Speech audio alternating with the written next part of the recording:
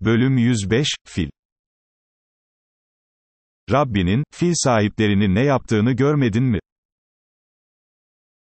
Onların tuzaklarını boşa çıkarmadı mı?